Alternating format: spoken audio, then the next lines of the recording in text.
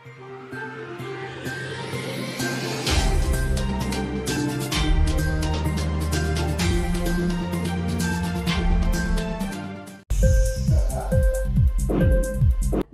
इंकलाब TV prime time समाचार में आपका स्वागत है।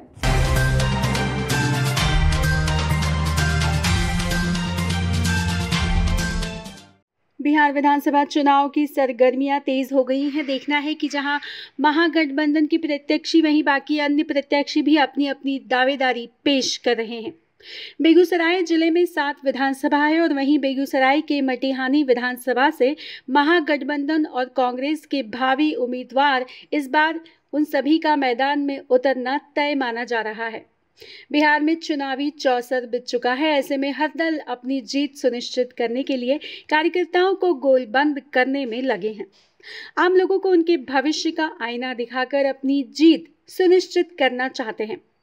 दूसरी ओर हर दल में अपने उम्मीदवारी को लेकर अपना अपना दावा पेश किया जा रहा है। बेगूसराय के मटिहाने विधानसभा सीट, हॉट सीट मानी जाती है, जहाँ से जदयू के दबंग विधायक नरेंद्र कुमार सिंह उर्फ़ बोगो सिंह विधायक हैं।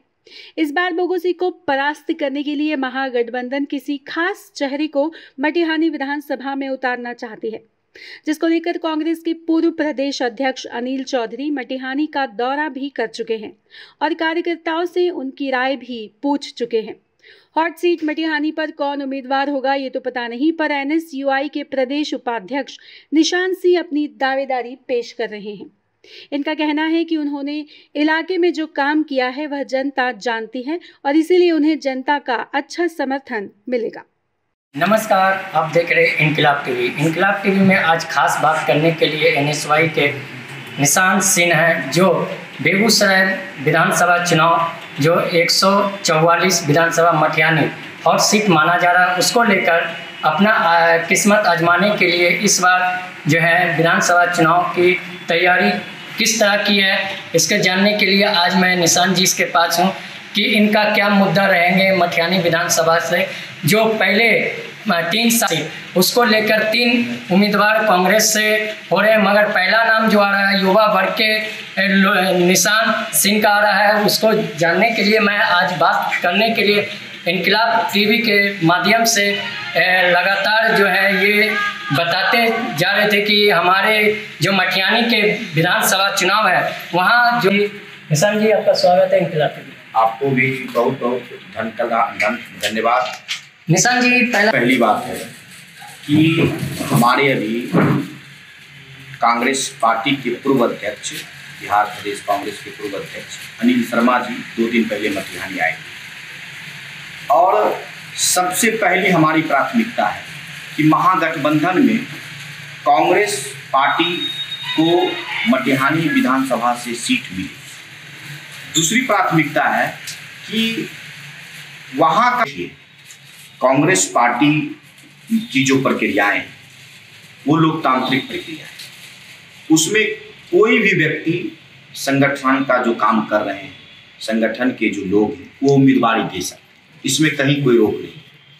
अब संगठन को तय करना होता है कि वो किसको उम्मीदवार बनाते हैं। तो ये संगठन का विषय है ये संगठन की बात है ये आला कमान का विषय है। इस पर टीका टिप्पणी मैं अपनी तरफ़ से कुछ नहीं करना चाहता। अनिल जो आपके परिवार मटिहानी विधानसभा ही नहीं पूरे बिहार के युवा बदलाव चाहते और हम लोग का एक नारा है कि बदला नहीं बदलाव चाहिए। तो उसी कड़ी में हम मटिहानी विधानसभा में भी बदलाव की मांग करेंगे। और वर्तमान परिवेश जो है बीस सौ बीस बिहार विधानसभा चुनाव, ये बहुत बड़ा चुनाव और ये युवा पीढ़ी को आगे आने का चुनाव चूँकि इस चुनाव से युवा पीढ़ी का भविष्य जुड़ा हुआ है। तो इस चुनाव को सिर्फ़ चुनाव रूप में नहीं लेना है, इस चुनाव को बिहार के विकास के रूप में लेना है, बिहार के युवाओं के विकास के रूप में लेना है।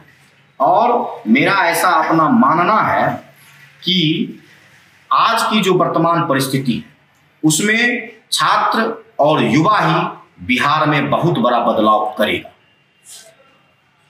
विधानसभा का जो परिसीमन है उसके अनुपात में मटिहानी विधानसभा के अंदर युवाओं की आवाज़ को उठाना है मटिहानी विधानसभा के अंदर शिक्षा की आवाज़ को उठाना है मटिहानी विधानसभा के अंदर किसानों की आवाज़ को उठाना है क्योंकि मटिहानी विधानसभा की जो आबादी है उस आबादी का सत्तर प्रतिशत लोग किसान हैं। और किसानों की जो प्रमुख समस्याएँ हैं, उस पर हमें गंभीर रूप से सोचना होगा। आज का जो वर्तमान हालात है, वो बहुत ही गंभीर है। उस हालात से चूँकि चुनावी मुद्दे अलग अलग होते हैं। और लेकिन जब पार्टी का मैनिफेस्टो बनता है तो उसमें पूरे राज्य के चुनावी मैनिफेस्टो में उस मुद्दे को डाले जाते हैं। तो मटिहानी में जैसे डिग्री कॉलेज अभी तक नहीं है तो हम लोग का प्रयास रहेगा कि मटिहानी में डिग्री कॉलेज की स्थापना हो। मटिहानी में जो चीज़ कमी दिख रही है, एक विधायक के स्तर से जो काम होना चाहिए, उसमें रोड रोड बनती है। लेकिन आप देख सकते हैं कि रोड का भी बहुत अच्छा स्थिति आप नहीं बोल सकते।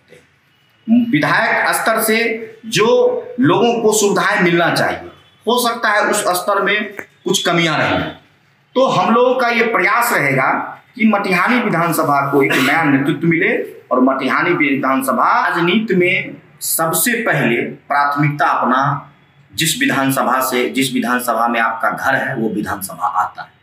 और हर लोग प्रयास करते हैं कि हम अपने विधानसभा का विकास करें और अपने विधानसभा की आवाज़ को विधानसभा तक पहुँचाने का कार्य करें। तो ये हमारी प्राथमिकता इसलिए मटिहानी विधानसभा रहेगी चूँकि हम वहाँ से आते हैं। आप वहाँ से स्थिति है। उसमें क्या विकास हुआ है मटिहानी विधानसभा का? वो राजनीतिक टिप्पा टीका टिप्पणी का विषय नहीं है। हमारा जो सब प्रमुख मांग रहेगी मटिहानी में गंगा जी आते हैं। वहाँ के किसान की क्या समस्या है? वहाँ युवा की क्या समस्या है? वहाँ छात्र की क्या समस्या है? वहाँ व्यवसायियों की क्या समस्या है? विकास हुआ, ये कौन तय करेगा विकास हुआ? अगर हम आज राजनीति करते हैं और हम कहते हैं कि हमने ये विकास किया तो ये हम अपनी बात को अपने मन से रख रहे हैं। विकास हुआ तो ये वहाँ की जनता कहेगी। ये वहाँ के छात्र कहेंगे, वहाँ के युवा कहेंगे। तो मैं उस पर कोई टीका टिप्पणी नहीं करना चाहता हूँ। मैं सिर्फ़ इतना ही कहना चाहता हूँ, मटिहानी विधानसभा का जो होना चाहिए था विकास, वो नहीं हुआ।